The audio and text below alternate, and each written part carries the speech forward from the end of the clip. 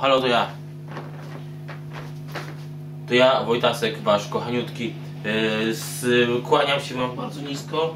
E, bo, tak, bardzo strasznie. E, kolejna lekcja. E, prośba ziomeczka. No wszystko robię na wasze prośby, no po prostu co ja z wami mam.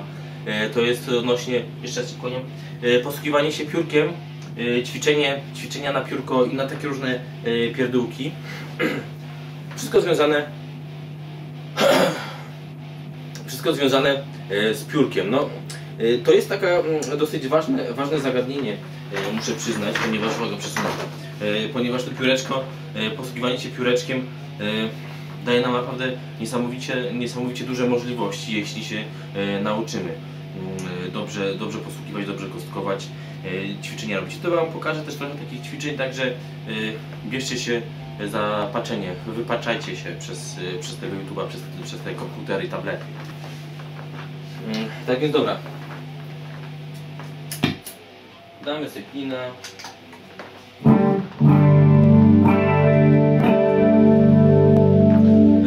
Em, Pióreczko, no pióreczko bardzo ważna, bardzo ważna rzecz. Już było na pewno trochę lekcji odnośnie tego piórkowania, bawienia się piórkiem, jak trzymać i tak dalej, i tak dalej. E, Takie krótkie przypomnienie to jest to, żeby najważniejsze, aby piórko trzymać w dwóch palcach. Oczywiście znajdą się amatorzy innego trzymania i tak dalej, i tak. W każdym razie nie musicie komentować powiedzmy, że ja trzymam inaczej i jestem lepszy, tylko po prostu z tego co zauważyłem przez te e, kilkanaście lat, najlepiej jak się trzyma piórko w dwóch palcach, piórko wystaje troszeczkę ponad, nie, nie tak wystaje, bo wtedy to w ogóle nie, ogarnie, nie ogarniemy niczego. Y, No i sobie trzymamy.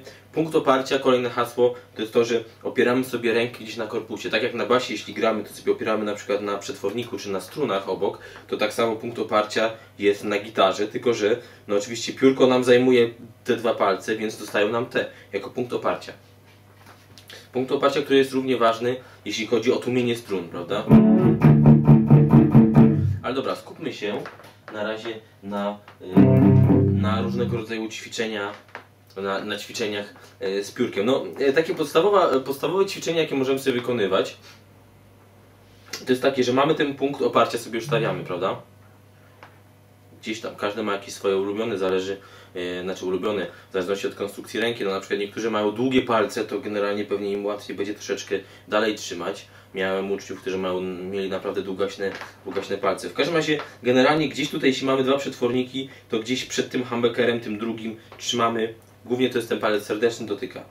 No dobra, czyli jak już to mamy mniej więcej to opanowane, gramy sobie na stojąco, czy na siedząco, to po prostu takie ćwiczenia, że na pustych strunach gramy sobie yy, na przykład po dwa razy każdą pustą strunę.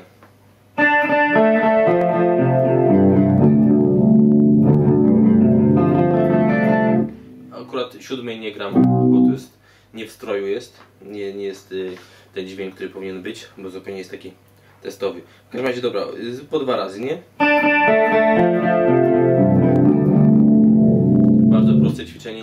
Angażujące zupełnie lewej ręki, no bo sobie tylko dzisiaj opieramy, tak żeby nie hałasować, ewentualnie tłumimy, prawda?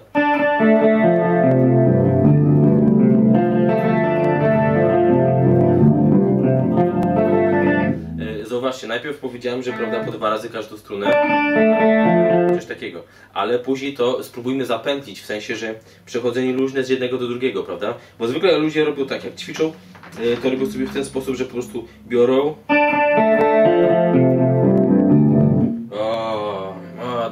pojechałem. O, teraz muszę piwa się napić, nie?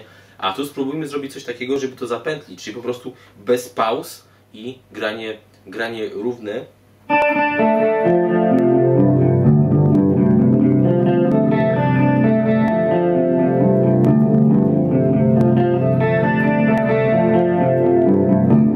Bo jak już zaczynamy grać ileś tam razy to samo, to zaczyna nam się troszeczkę tak mylić, że ta struna czy nie ta struna, już zaczynamy mieć takie troszeczkę mętki w głowie, troszeczkę się robi. Yy, I właśnie o, o to, to ma na celu właśnie to zmienianie, to granie yy, parę razy ty- tych, tych powtórzeń w jedną i w drugą stronę. Oczywiście możemy sobie to zmodyfikować, yy, znaczy urozmaicić, bo zmodyfikować tej ręki tu nie modyfikujemy, nie, nie, nie urozmaicamy, nic nie robimy, ale na przykład łapiemy sobie akord, no nie wiem, no chociażby na przykład yy, zwykły D-dur, prawda? I na przykład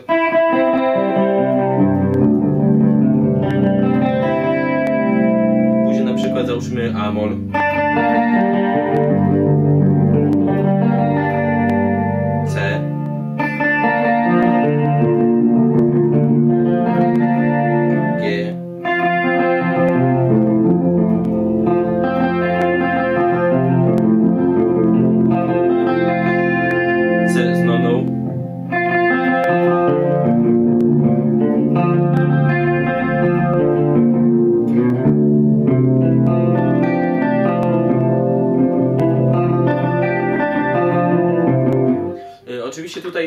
Na przykład w niektórych akordach, prawda, jeśli uderzamy, po, robimy przez wszystkie struny, wszystkie sześć strun, to czasem jest tak, że e, ta najgrubsza struna tu nie pasuje, na przykład powiedzmy w akordzie Amol, czy powiedzmy w akordzie D-dur, to te najgrubsze troszeczkę brudzą, ale powiedzmy skupmy się na tym, żeby przejechać po wszystkich, ewentualnie jak już powiedzmy nam już dojdziemy do wprawy, to skupić się na tych, które powinny być w akordzie, prawda? Czyli tak jak widzieliście e, serię akordy,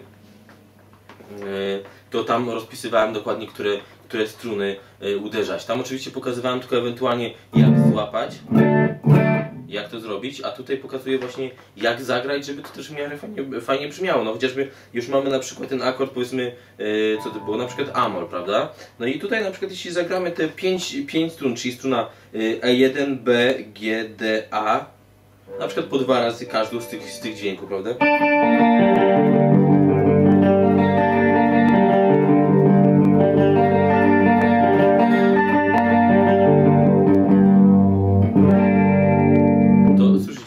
Się coś fajnego, e, fajnego, fajnego dziać, to oczywiście możemy e, to też zmodyfikować, no mogło być na przykład po trzy razy każdy, albo po razie.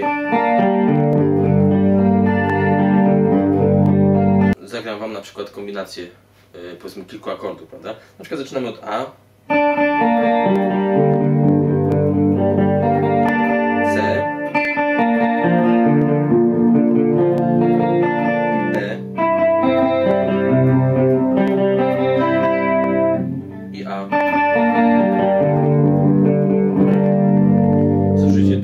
Zaczyna naprawdę coś fajnego nam się dziać, czyli po prostu y, można y, łatwy wniosek z tego y, wynieść, że generalnie piórko może grać nawet według jednego jakiegoś systemu uderzania, a zmienia się z kolei to, co robimy y, tą ręką, zmieniają się akordy. Możemy oczywiście też zastos- zastosować i sobie ćwiczyć od razu, to jest genialne ćwiczenie, y, na akordy bara wszelkiego rodzaju, prawda? Czy tam na przykład jakiś durowy, powiedzmy o, od na przykład F-dur. No, łapiemy sobie F-dur, no i gramy każdy z dźwięków.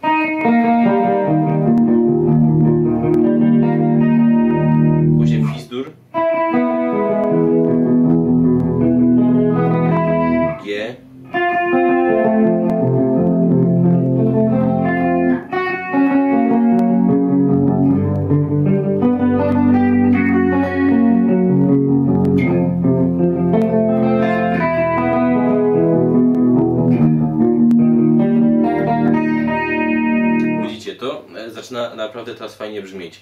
E, Tu mamy takie właśnie, pokazywałem praktyczne zastosowanie, bo e, można byłoby równie dobrze na przykład kostkowanie ćwiczyć na przykład przeskakiwanie między strunami, prawda? Czyli na przykład bierzemy sobie jakiś taki układ, taki układ i sobie gramy, prawda? Pierwszy palec na pierwszym progu, progu drugi palec na drugi, drugim progu, trzeci palec na trzecim progu. No to mamy